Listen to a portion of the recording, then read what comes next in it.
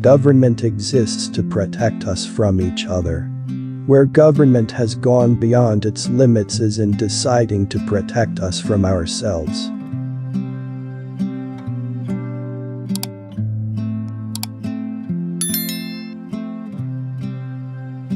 I've noticed that everyone who is for abortion has already been born.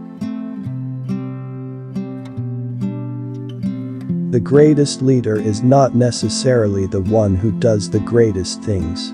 He is the one that gets the people to do the greatest things.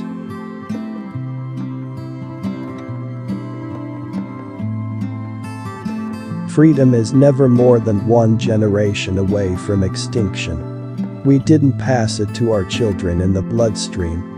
It must be fought for, protected, and handed on for them to do the same, or one day we will spend our sunset years telling our children and our children's children what it was once like in the United States, where men were free.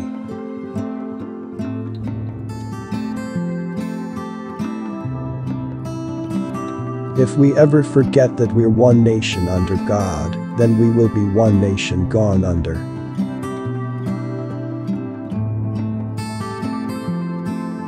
Within the covers of the Bible are the answers for all the problems men face.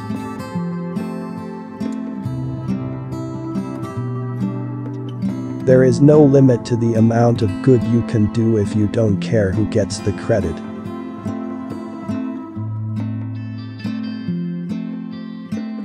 As government expands, liberty contracts. The most terrifying words in the English language are I'm from the government and I'm here to help.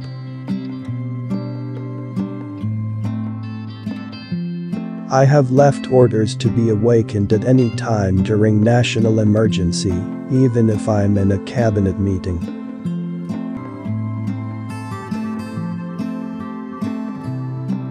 Christmas can be celebrated in the schoolroom with pine trees, tinsel and reindeers, but there must be no mention of the man whose birthday is being celebrated. One wonders how a teacher would answer if a student asked why it was called Christmas.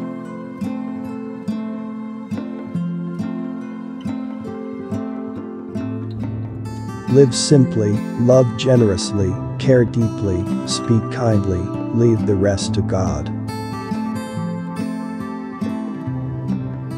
Republicans believe every day is the 4th of July, but the Democrats believe every day is April 15.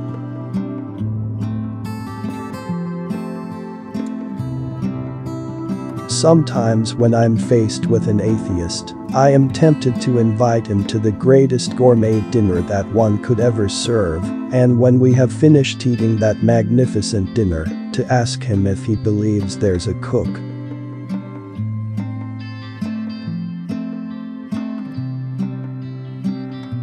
You can tell a lot about a fellow's character by his way of eating jelly beans. We don't have a trillion dollar debt because we haven't taxed enough, we have a trillion dollar debt because we spend too much.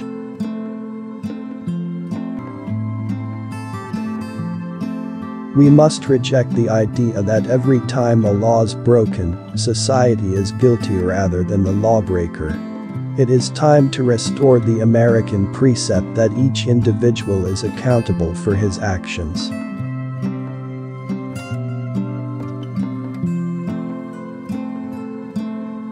A nation that cannot control its borders is not a nation. I know in my heart that man is good, that what is right will always eventually triumph, and there is purpose and worth to each and every life.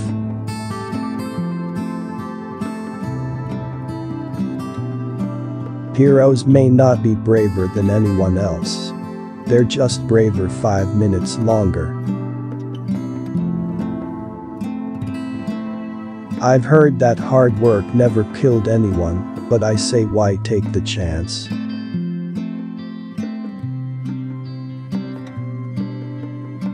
Status quo, you know, as Latin for the mess we're in. Government's view of the economy could be summed up in a few short phrases. If it moves, tax it. If it keeps moving, regulate it. And if it stops moving, subsidize it.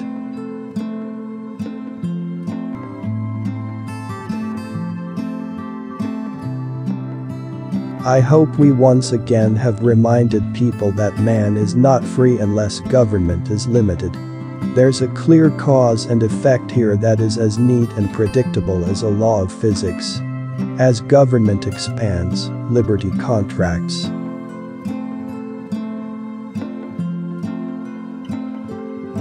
Politics is not a bad profession. If you succeed there are many rewards, if you disgrace yourself you can always write a book.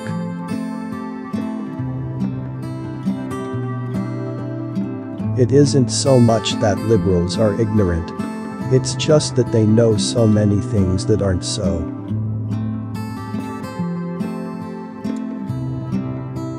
Some people spend an entire lifetime wondering if they made a difference in the world. But, the Marines don't have that problem. Recession is when your neighbor loses his job. Depression is when you lose yours. And recovery is when Jimmy Carter loses his.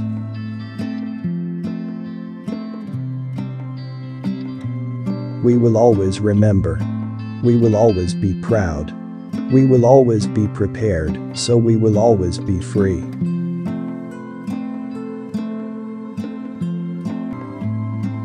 Government is not a solution to our problem government is the problem. It has been said that politics is the second oldest profession. I have learned that it bears a striking resemblance to the first.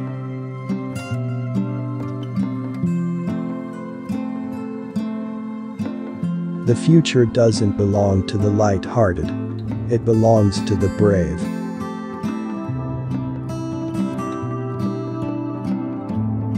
Socialists ignore the side of man that is the spirit.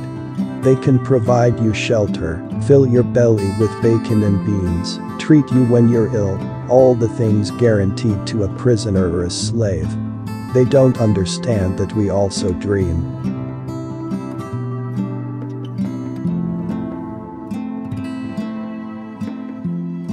Our natural, inalienable rights are now considered to be a dispensation from government, and freedom has never been so fragile, so close to slipping from our grasp as it is at this moment.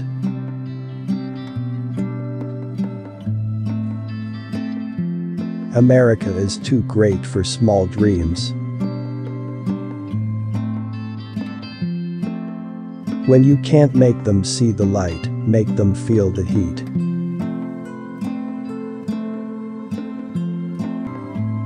The federal government did not create the states, the states created the federal government.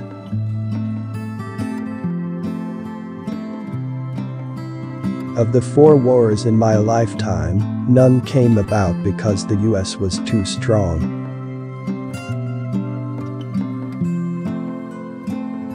To sit back hoping that someday, someway, someone will make things right is to go on feeding the crocodile, hoping he will eat you last, but eat you he will.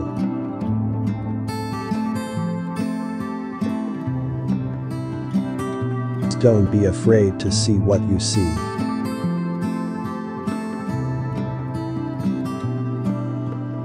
I have wondered at times what the Ten Commandments would have looked like if Moses had run them through the US Congress.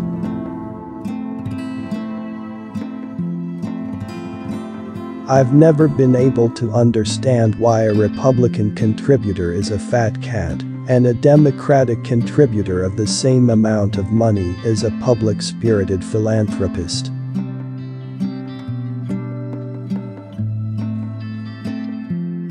Above all, we must realize that no arsenal, or no weapon in the arsenals of the world, is so formidable as the will and moral courage of free men and women.